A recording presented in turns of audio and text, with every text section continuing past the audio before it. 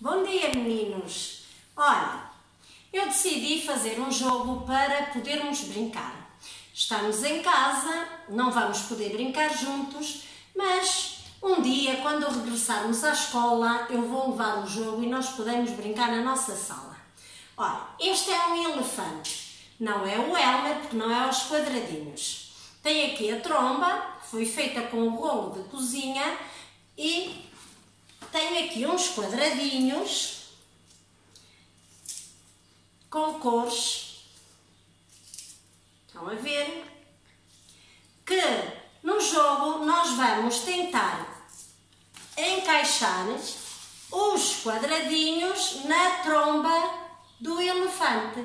Atiramos e tentamos encaixar os quadradinhos. Que conseguirem encaixar os quadradinhos todos na tromba do elefante ganham o jogo. Vamos então experimentar?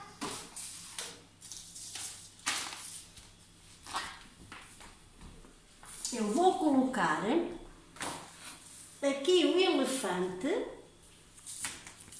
e vou tentar encaixar os quadrados na tromba do elefante.